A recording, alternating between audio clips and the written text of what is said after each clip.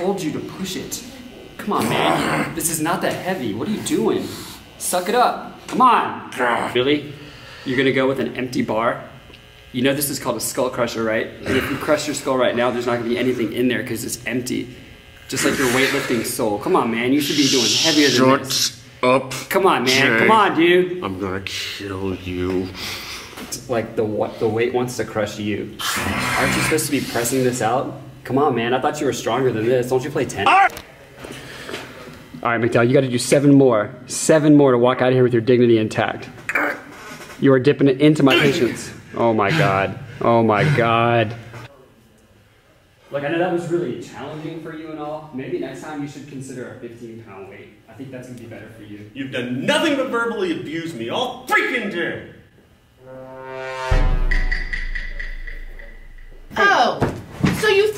Decide to show up. I got your email. You said you needed to see me. I do need to see you. What is your deal? What did I do? Well, first of all, you know, I send out an email and say, come enjoy a treat or whatever, and you just come down here and they tell me that you took a whole tray full of brownies. Well, they were sitting there. It was the end of the day. No one had touched them, so I figured oh, they were free. oh, so you just think you can just take them and go with them? Well, yeah. I mean, it's the end of the day. No one's gonna take them home. Really, Jay? Come on. And then, just to top all of that off, I get an email from my boss, and then she comes up here, rings into me because it comes to find out you told her that you turned in your seating chart plans and I lost them. Yeah. What's up with that? I totally turned those in. I, No. If they're gone, it's your fault. no, you did not turn them in, and your little Jonas Brother charm does not work with me. Jonas Brother Charlie? Yeah, it might work with Mackenzie, but it is not going to work with me. Oh. Look, I have just about had it. Do you understand me? I don't Don't you you. come down in this office. Y'all just don't know what we take down here in the middle of this pandemic. I mean, I'm just ready to pull my hair out. Do you understand? And I will get revenge. Uh huh. So it sounds like you can't handle the heat in the kitchen.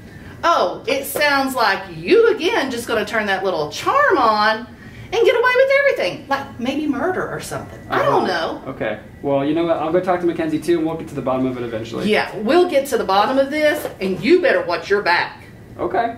All right, I hear you. we'll see it. Mm-hmm. All right. Yeah. Mm-hmm. We'll have the last word.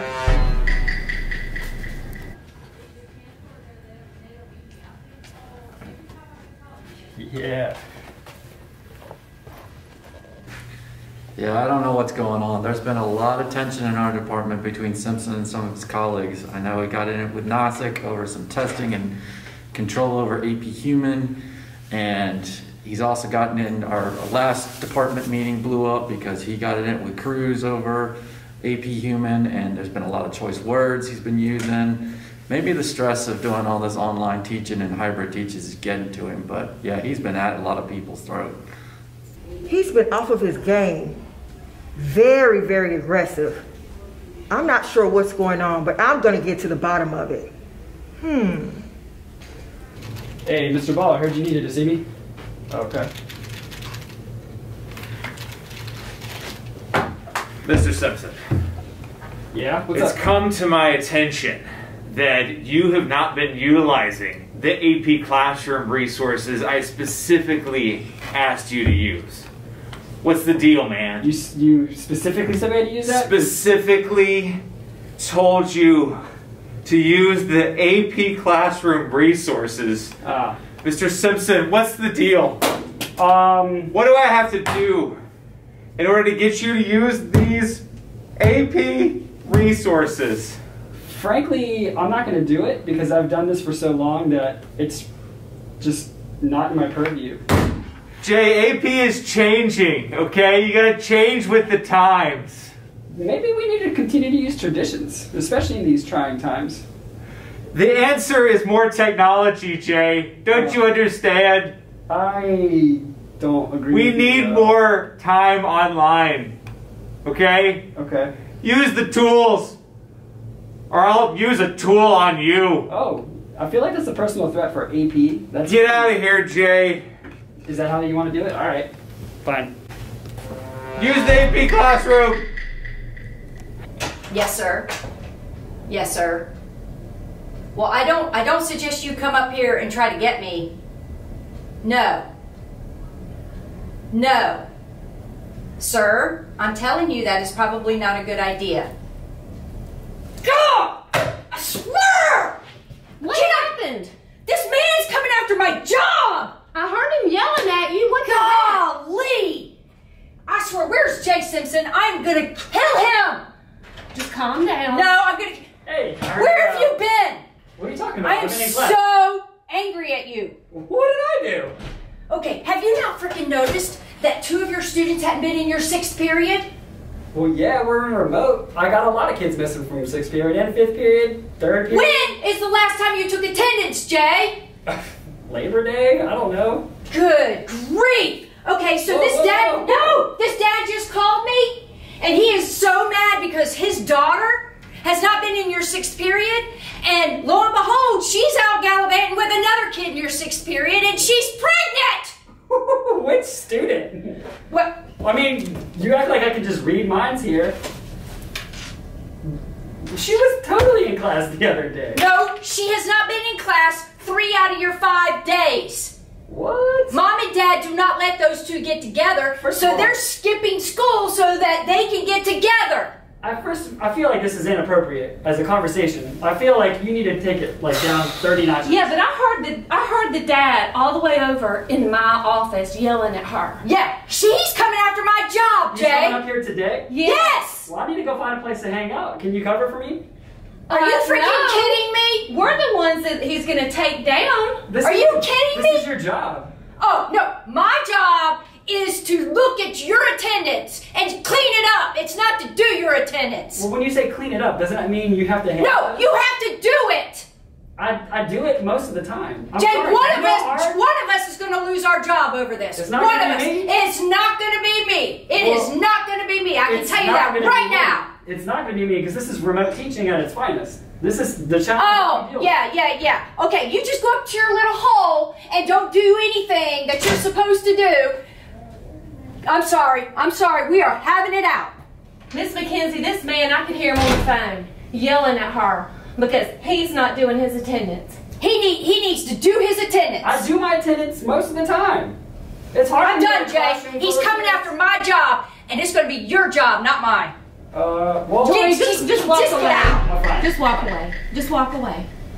On my way to the into the building, I heard an aggressive exchange between Mr.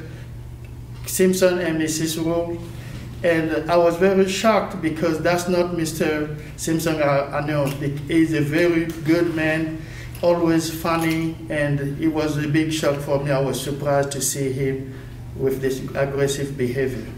Hey, Weaver, what's up? How's everything? I mean, it's okay. Uh, I I really wanted to talk to you about some stuff you've been saying to my Stuff? student. Yeah, I mean, I've heard that you have been saying that English is just us sitting around talking about our feelings. Well, I mean, y'all do talk a lot about poetry, Oh come on now! Like that's not the same. We're analyzing literature. You're you said that we just sit around and talk about our feelings, and that we're basically a glorified book club. What do you, what'd you guys do in class yesterday?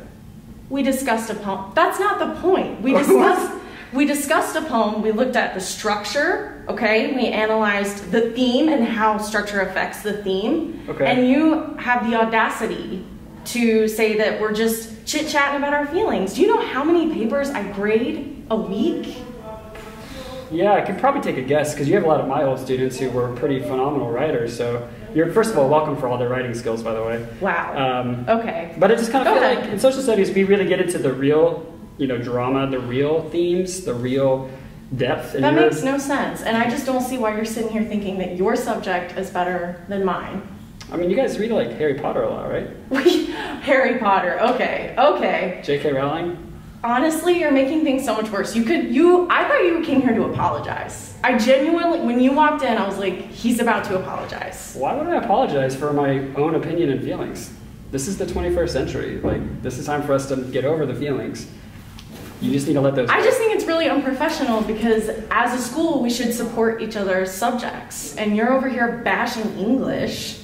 Like, first of all, you're welcome for the writing. You're welcome for the writing skills. Okay? Let's get that right. Let's get that right. Okay, I will. I'll think about that, but I just want you to remember who taught the kids first. Okay. All right. Bye. I'll work- see you later. you work I will that. see you later. You work on that. You guys, I did see Mr. Simpson and Miss Weaver get into a big argument. Yep, I He did. wa- He was talking smack about English, like all you guys talk about is your feelings all day, you dreamers. Why- I- It was, yeah. it was kind of rude, and I'm glad Miss Weaver stood up for us. But Me too. she kind of got in his face. Yeah. it was uncomfortable Yeah. because we should really should be six feet apart. I know. But I, yeah, but we did see that. Yeah. It did happen. Mm-hmm. Drop it. Drop it.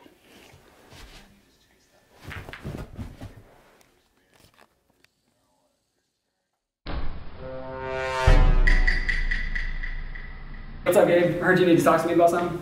Hey man, why are you sitting on my motorcycle for? Wait, what? Yeah, I saw you out there. You're sitting on my motorcycle. What's up with that? You were you were telling me about your motorcycle and you brought it, so I figured I'd check it out. I sat on it and I mean I admit I revved the engine a couple times. You you left the keys in it. Man, it's not yours, but you can't you can't be sitting on somebody's stuff. Well, this is the Northern way, man. Like we we're all community here. Nah, we're done, man. We're we can't be friends anymore. We can't be friends because of a motorcycle. Nah, we're done, man. Jeez, man, cry about it. It's just a motorcycle. Whatever. Alright, so obviously if you're looking at this video, I haven't made it. I sadly died and was killed. Please avenge my death and figure out who did this.